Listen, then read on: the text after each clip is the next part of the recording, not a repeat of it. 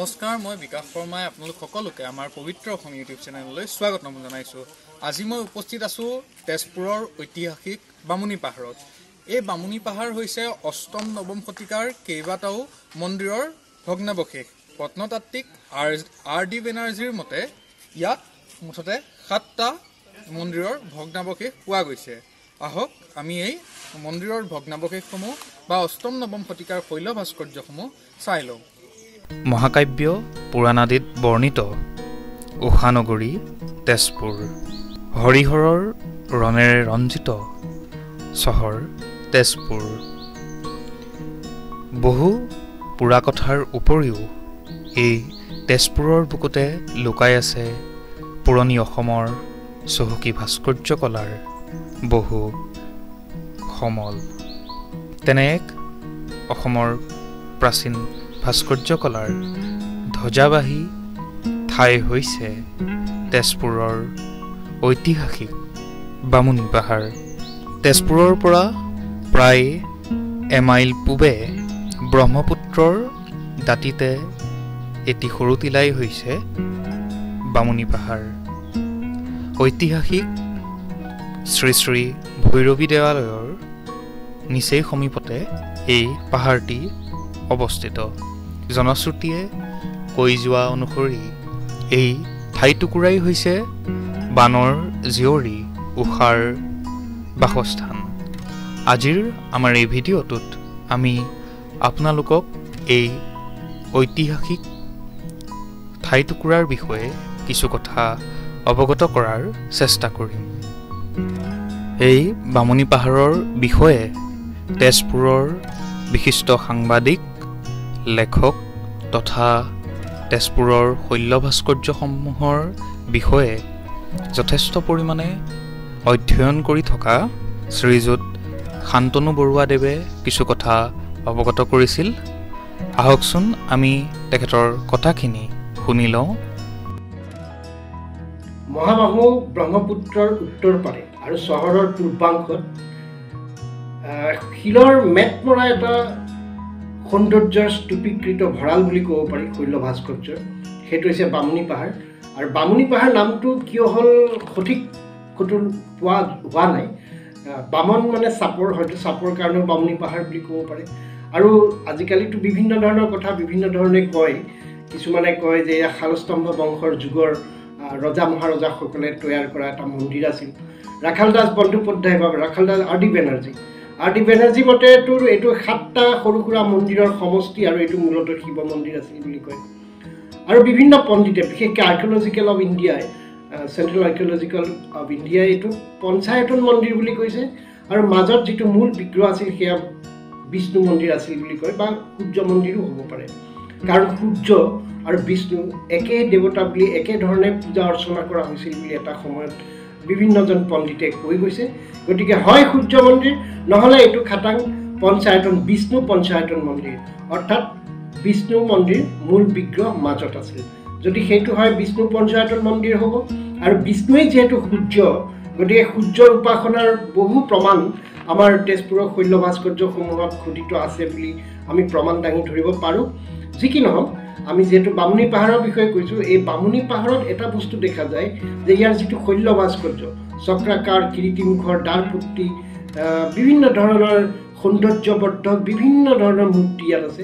আৰু বিশেষকৈ নৰসিংহৰ যিটো ৰুদ্ৰ মূৰ্তি ইয়াত এটা সৰুকৈ হ'লেও শিলত কাটি থোৱা আছে। আৰু এইটো যে পঞ্চায়তন মন্দিৰ তাৰ প্ৰমাণ হিচাপে পাঁচটা মন্দিৰৰ সুন্দৰ নক্সা কাটি থোৱা শিলত অতি স্পষ্টভাৱে আছে। কিন্তু আজিলৈকে ইয়াৰ সবিশেষ কোনেও ক'ব পৰা নাই। তথাপিও আমি ভাবোঁ যদি এটা এটা এটা বেলেগ ধৰণৰ এটা মোৰ মন্তব্য এটা দিব বিচাৰিছোঁ ইয়াত যিহেতু আমাৰ কোনো ধৰণৰ আৰ্কিঅলজিকেল ষ্টাডিত আলোচনাত আমাৰ ইয়াত বিজ্ঞান কেতিয়াও লগ হোৱা নাই বা সমসাময়িক কথাখিনিক আমি কেতিয়াও একেলগে কৰি আলোচনা কৰা নাই। যদি সপ্তম বা নৱম শতিকাৰ শালস্তম্ভ বংশৰ কোনো ৰজা মহাৰজাই এই মন্দিৰ তৈয়াৰ কৰিছিল বা কাৰেং বুলি ভবা হৈছে যদি যিয়ে নহওক কাৰেং হওক মন্দিৰ হওক যদি তৈয়াৰ কৰিছিল তেতিয়াহ'লে এটা কথা ক'ব লাগিব যে তেওঁলোকৰ টেকন'লজি প্ৰযুক্তিবিদ্যা ইমান উন্নত মানৰ আছিল যে তেওঁলোকে টন টন ওজনৰ শিল কঢ়িয়াই আনিব পৰা প্ৰযুক্তি তেওঁলোকৰ আছিল। যি প্ৰযুক্তিৰে আজিও কিন্তু ইয়াত টন টন শিল ইফাল সিফাল কৰা মস্কিল আজিৰ যুগৰ ক্ৰেন লগাই গ'লোঁ। কিন্তু তেওঁলোকে তেতিয়াহ'লে নিশ্চয় কৰিছিল। আৰু এটা কথা মন কৰক ইয়াত যিবিলাক শিল আছে যিবিলাক শৈল্য ভাস্কৰ্য আছে এই শৈল্য ভাস্কৰ্যখিনি কিন্তু এনেধৰণৰ শিল তেজপুৰৰ ক'তো কুৱেৰি নাই এনেকুৱা। এয়া নিশ্চয় বেলেগৰ পৰা আনিব লাগিব। তে কেনেকৈ আনিছিল ক'ৰ পৰা আনিছিল? যদি ধৰি ল'লোঁ শালস্তম্ভ বংশৰ ৰজাসকলে এইটো তৈয়াৰ কৰিছিল তেতিয়াহ'লে তেওঁলোকৰ প্ৰযুক্তি কিমান সাংঘাতিক হ'ব লাগিব? কিন্তু হায়ুংথল লিপিত যিটো কথা পোৱা যায় কুমাৰ ভাস্কৰ বৰ্মাৰ যিটো হায়ুংথল লিপি তাত পোৱা গৈছিল যে সেই সময়ত গৌৰ ৰজাৰ লগত এখন তীব্ৰ সংঘাত হৈছিল ডাঙৰ এখন যুদ্ধ হৈছিল আৰু সেই যুদ্ধ হোৱা অঞ্চলটোক তেজপুৰ বুলি ঠাৱৰ কৰিছে বিভিন্নজনে আৰু সেই অঞ্চলটোকে আকৌ উপৰিপত্তন বুলিও ভবা হৈছে যিটো ভগদত্তৰ পিৰিয়ডত ভগদত্তৰ সময়ত কোৱা আছিল যে ভগদত্তই সদাশিৱক মহেশ্বৰক স্তুতি মিনতি কৰি উপৰিপত্তন লাভ কৰিছিল। এই উপৰিপত্তন ক'ত আজিলৈকে সঠিক ক'ব নোৱাৰিলেও দুই এজন পণ্ডিতে কৈছে যে এই উপৰিপত্তনেই হৈছে কুমাৰ ভাস্কৰ বৰ্মাহঁতে গৌৰৱ ৰজাৰ সৈতে যিখন যুঁজ কৰিছিল সেই যুঁজখনৰ ঠাই উপৰিপত্তন আৰু এই উপৰিপত্তন বৰ্তমান তেজপুৰৰ যিটো হজৰ বৰ্মাৰ শিলালিপি আছে সেই অঞ্চলটোক বুলিও স্বীকৃতি দিছে। গতিকে গৌৰ ৰজাৰ লগত সেই সময়ত যিখন যুদ্ধ হৈছিল সেয়া হাতী ঘোঁৰা লৈয়ে যুদ্ধ হৈছিল। গতিকে শালস্তম্ভ বংশৰ সময়ত প্ৰায় তিনিশ বছৰৰ আমি যদি ধৰি লওঁ গেপিংটো এই তিনিশ বছৰৰ পাছতো কিন্তু ইমান সাংঘাতিক নিশ্চয় প্ৰযুক্তিৰ উন্নত হোৱা নাছিল বা উন্নতি হোৱা নাছিল যিটো প্ৰযুক্তিৰে তেওঁলোকে শিলৰ এনেকুৱা ধৰণৰ মন্দিৰ তৈয়াৰ কৰিব পাৰে। গতিকে মোৰ বোধেৰে আমি যদি অলপ বেলেগ ধৰণে চাওঁ এইটো কোনোবা এলিয়ান টেকন'লজি বা এলিয়ান থিয়ৰীলৈ আমি লৈ যাব পাৰোঁ নেকি? কাৰণ বিশ্বৰ প্ৰায়বোৰ শৈল্য ভাস্কৰ্যই কিন্তু শিলত আৰু প্ৰত্যেকটো বস্তু কিন্তু আজিলৈকে কোনো টাইম ডিটেক্ট কৰিব পৰা হোৱা নাই বা সময় নিৰ্ধাৰণ কৰিব পৰা হোৱা নাই। তেজপুৰত পোৱা শৈল্য ভাস্কৰ্যখিনিও কিন্তু আমি যদি তেনেভাৱে চাওঁ এয়া কিন্তু মানুহে কৰা মানুহৰ যিটো মানৱ সভ্যতা বুলি কৈছোঁ আমি এই সভ্যতাই কিন্তু এনেধৰণৰ মন্দিৰ আজিও তৈয়াৰ কৰিব পাৰে গতিকে সপ্তম বা নৱম শতিকাত এইটো যে কৰিছিল মানুহে মোৰ কিন্তু ভাৱ নহয়। যদি আমি ইয়াত বিজ্ঞান আৰু ৰক টেকন'লজি গোটেই প্ৰযুক্তিখিনি যদি একেলগে পঢ়িয়াই আলোচনা কৰোঁ তেতিয়াহে আচল সত্যটো ওলাব। এইখিনিয়ে ক'ব লগা। শ্ৰীযুত বৰুৱাদেৱৰ মুখেৰে এই বামুণী পাহাৰৰ বিষয়ে কিছু কথা জনাৰ পিছত আহক আমি এতিয়া এই বামুণী পাহাৰৰ ভাস্কৰ্যসমূহ চাই লওঁ।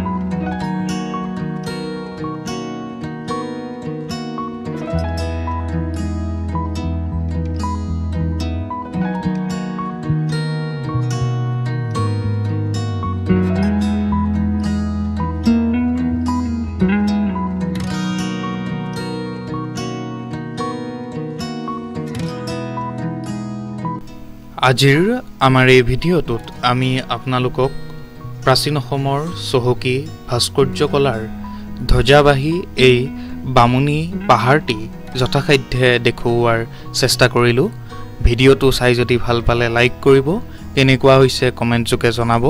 চেনেলটোত যদি নতুন নিশ্চয়কৈ ছাবস্ক্ৰাইব কৰিব আৰু ভিডিঅ'টো যিমান পাৰে সিমান শ্বেয়াৰ কৰি দিব যাতে পুৰণি অসমৰ গৰিমাময় ভাস্কৰ্যকলাৰ এই নিদৰ্শনটি অসমৰ প্ৰতিজন লোকেই দৰ্শন কৰিব পাৰে। ইয়াৰে সৈতে মই বিকাশ শৰ্মাই আজিৰ এই ভিডিঅ'টোৰ পৰা বিদায় মাগিছোঁ। ধন্যবাদ।